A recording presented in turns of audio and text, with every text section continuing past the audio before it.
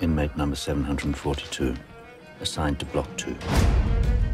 We have been attempting to make this dictionary for the last 20 years, and I submit that the extraordinary, the unconventional, Mr. Murray, is the solution and our salvation. The task is gigantic. And impossible. There is a way. We'll ask them to read in search of the words that we want and get them to write the word on a slip of paper. So this is the good doctor. I'm proud to make your acquaintance, sir. I cannot believe my eyes. Aye. Partners, word for word. My entire life, all that I pursued has been in preparation for this.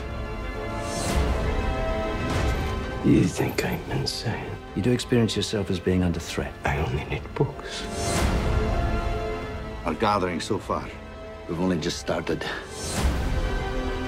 William Minor will be struck from all acknowledgements. What are you so afraid of? That a bad man can be redeemed?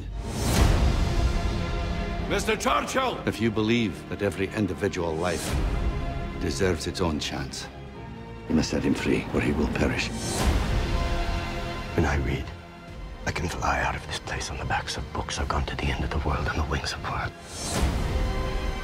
We are linked now. Brothers. An American and a Scot. One Oxford, one Yale. One brilliant, one mad.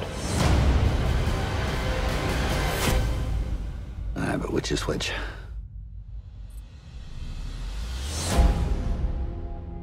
Mr. Murray, we are watching with a concerned eye. Watch then, and be amazed.